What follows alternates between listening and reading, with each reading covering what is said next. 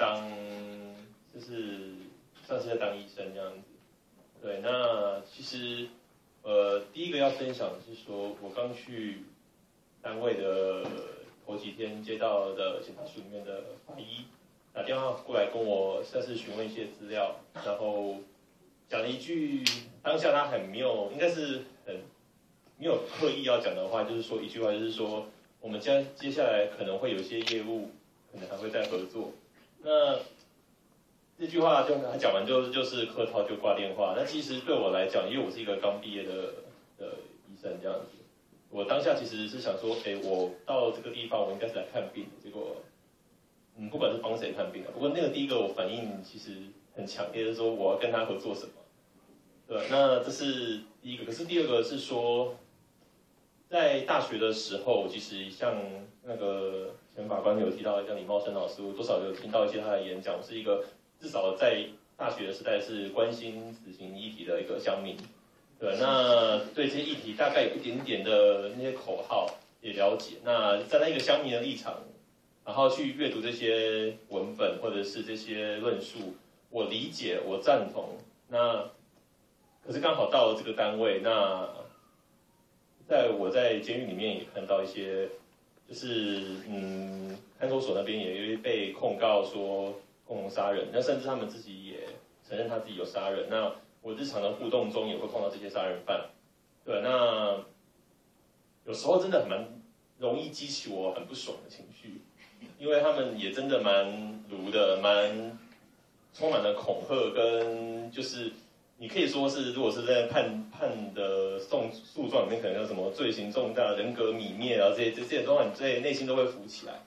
那我想要询问的是说，就是，当然今天的这个场合是在讲死刑，然后文学还有社会关怀，那可能是可能就是社会只是讲说，哎，一群是一群乡民，一群人民去去对抗这个国家，或者是去思考，去跟国家争取这个权利。可是现在以我。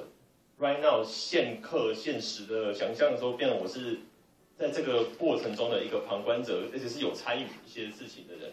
其实这时候我会有很多价值观的冲突，因为其实，在单位里面，其实有时候也会跟很多检察署的人一些互动。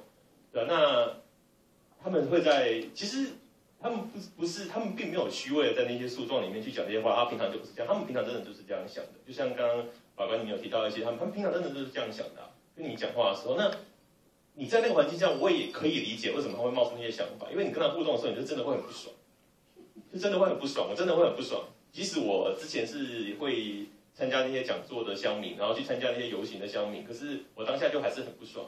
那其实我这时候我就会变成是一个很大的撕裂，就是我不知道怎么处理这个困境。那不知道那个这边的那个老师或法官们有没有什么建议这样子？谢谢。我们先累积几个问题，好了，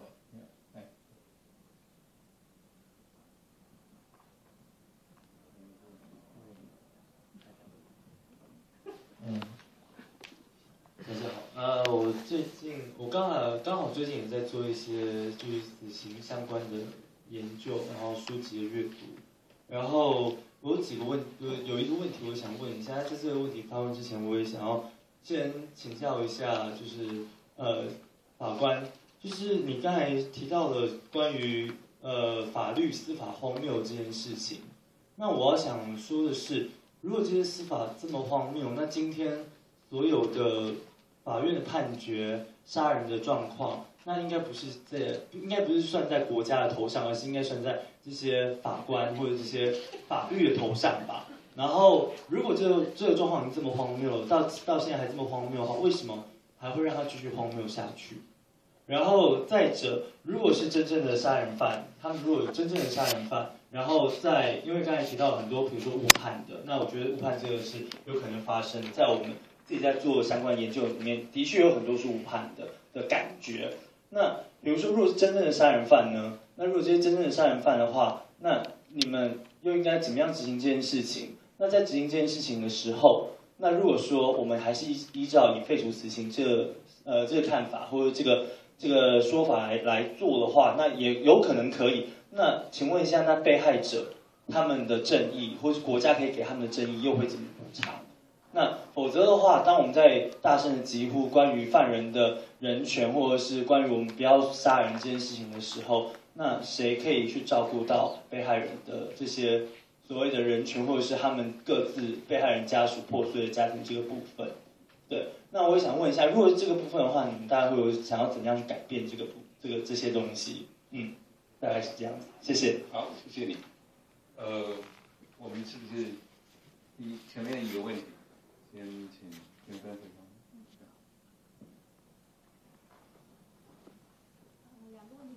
好的，不过也啊，所以很很很难回答的问题都是很好的问题。第一个问题，其实我觉得你问到的是善和恶的问题，我的感觉上是这样，就是说，呃，实际上当我们面对面对呃道德上有瑕疵的人的时候，我们的道德观会很自然的对他有一个贬低的，就有贬低或者是厌恶的这种情绪。那我觉得，其实这是为什么刚才所数的那些人渣都会引起大家这么大的反感。那那些人渣呢，可能他们确实都确实做错了事情。那我觉得这里面，呃，这里面跟死刑议题相关的啊，是我觉得我会，呃，我并不反对惩罚这回事，可是我争执的是说，我们我们惩罚的极致是什么？就是说国家的权限到哪里，可以用什么来惩罚？或者翻成白话文，大家可以这样讲：我同意说善有善报，恶有恶报。所以那些道德上有瑕疵的人，他确实应该因为他所做做的错事而去呃受到某种惩罚，哈，受到某种处遇。可是死刑不只是善有善报，恶有恶报而已，死刑其实是以牙还牙，以眼还。那这一点，我觉得同样呃连带的可以回回应到第二个问题，就是说，假如我们废除死刑的话，我们是不是对于被害者或者家属的权益有所亏欠？啊那我觉得这是同样一个逻辑，就是说，假设我今天抓到一个小偷啊，那他也应该他做错事情，他真的偷东西，他就应该是被惩罚嘛。那我们怎么惩罚他呢？我们偷他东西吗？不会嘛？我们把他该受的惩罚换算成他应该在监狱里面待几年，这是我们惩罚他的方式。我今天抓到一个强暴犯，我该怎么办呢？强暴他吗？如果强暴犯的这个呃性侵的被害人，可不可以说我唯一的痛苦就是呃补偿我痛苦唯一的方式就是一定要去强暴那个人，因为他只有被强暴，他才能够明白被强暴的痛苦。提了一个更可怕的。对呀。好，这种可怕的这种可怕的提议，其实同样在告诉我们说，以牙还牙，以眼还眼这种。这个逻辑是行不通的。这其实我甚至于并不是要说我们道德比较高尚，愿意原谅，不是这回事，而是你完全不能够想象，如果一个社会说我们就来以牙还牙，以眼还眼，这个社会要怎么运作？根本没办法运作。所以我谈的是一个非常务实的问题，不是道德高尚或低劣的问题。那我觉得被害者家属或者被害者权益是一个非常非常重要的因素哦，在台湾呃。反对废死，大概最重要的一个、最最最重要的一个理由，其实就是就是这个啊。所以我们其实花了很大的力气在谈，到底被害人应该怎么样，应该得到什么东西。答案是，政府应该要有被害人保护制度，它应该是一个制度性的保护。我们现在不是，我们现在政府是不尽责任的，他就把死刑放在那里，大家只要有死刑就满意了。只在死刑很稳固的状态下，没有人想到我们应该如何照顾被害人家属。有的时候我去演讲，会有人问说：“你废死以后怎么照顾被害人家属？”这个问题本身就已经说明了我们在什么心态。废除死刑以后怎么照顾？所以我们只要不要废除死刑，就不用照顾被害人家属。我们现在确实就是这样。我们对于被害人或者家属仅有的一点照顾就是金钱的补偿，而金钱补偿。又因为法令的关系，在实际上面补偿的金额很少，很多人根本没有拿到，因为他受不了那个公文来往。那这些制度性的保障，呃，我们从各国的经验都看到，第一个至少是金钱的补偿，第二个是专业的法律协助，第三个是专业的心理咨商。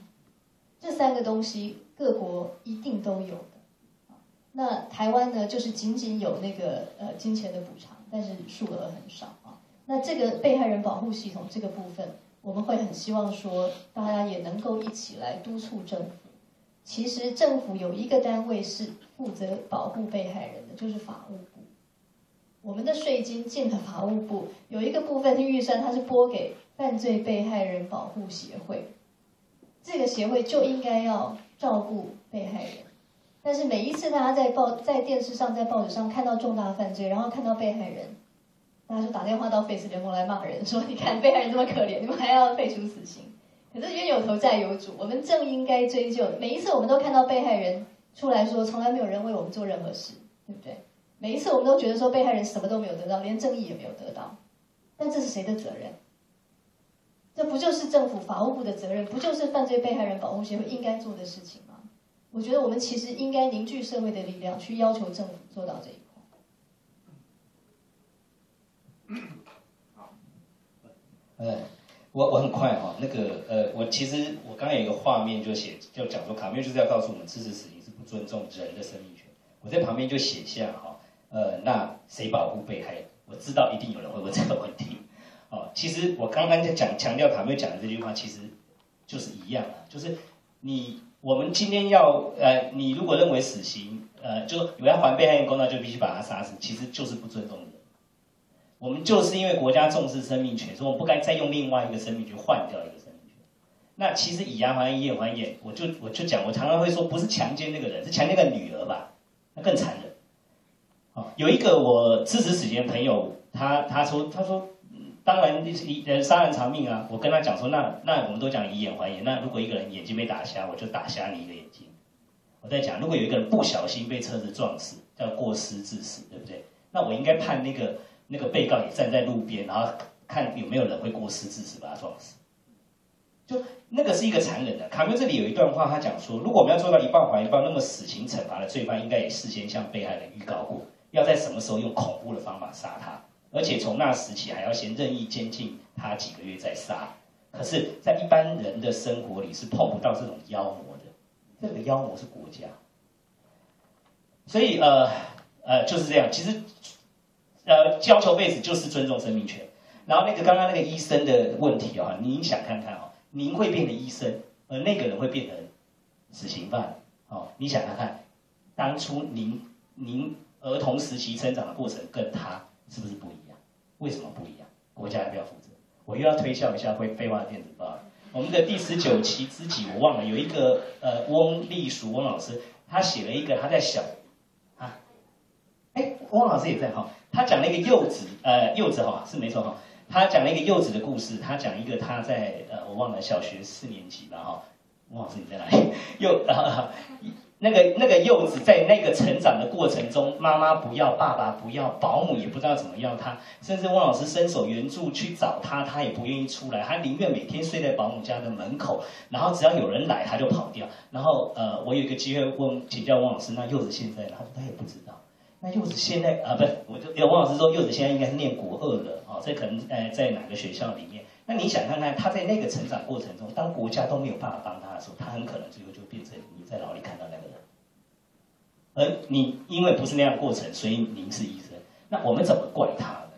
我们怎么怪他会变成那样子？应该要怪谁？应该要怪我们的国家，怪我们的社会。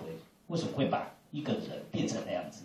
当初到底在哪一个环节里面，谁没有去伸出援手，或者谁没有去去关怀他，而导致他这样子？他何尝愿意变那样？哎，这其实就是我们在审少年办的一个观念。对，谢谢。嗯其实刚刚那位朋友的那个问题是相当有趣的。我们也看到在卡缪的这篇文章里面，他非常在在，我觉得卡缪在写这篇文章的时候，基本上有一种那种虽千万人先千虽千万人吾往矣的那个气势，因为他的面对的是绝大多数反对废除死刑的民众，对对的同胞们，所以他基本上是很全面性论述，呃，论理论情，然后。它里面对于死刑的存在，还有处决死刑的存在，会对于这个社会带来的灾害，有非常大的一部分归咎给社会跟国家，尤其是国家。那其实这边我倒是还蛮想知道吴锡德老师或者是徐教华老师，像卡缪这个世代的知识分子，他们对国家，尤其是对国家所扮演的角色，这么的戒戒慎恐惧，而且在很多时候他是很清楚的表现出一种民主，就是要对抗国家的那个立场。这个渊源是从哪里来的呢？也也顺便也可能要邀请两位顺便作为一个今天的讲座的简单的结论。